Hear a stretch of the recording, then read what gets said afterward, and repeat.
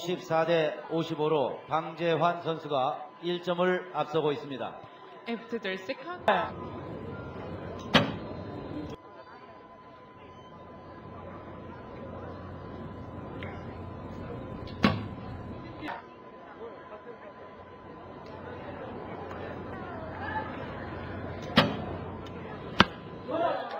나 15대 84로 일본 표적의